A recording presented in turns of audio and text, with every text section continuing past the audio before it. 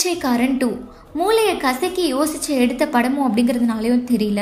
மூளையோடவே விளாண்டுட்டாங்க இந்த கதையில் நடிகர் விஜய் ஆண்டனி விஜய் குருமூர்த்தி அப்படிங்கிற கதாபாத்திரத்தில் கதாநாயகனாக நடிச்சிருக்காரு.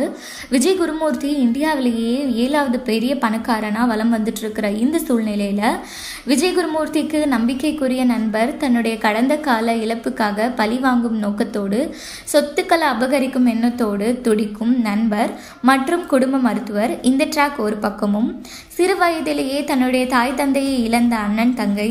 தங்கையை தொலைத்த அண்ணன் தன்னுடைய வாழ்நாள் முழுவதும் தங்கையை தேடிக்கொண்டிருக்கும் அண்ணன் பத்யா என்ற கதாபாத்திரத்தில் பிச்சைக்காரராய் வாழ்பவர். இந்த ட்ராக் ஒரு பக்கமும் பணக்காரன் வசஸ் பிச்சைக்காரன் இணையும் ட்ராக் தான் இந்த கதை.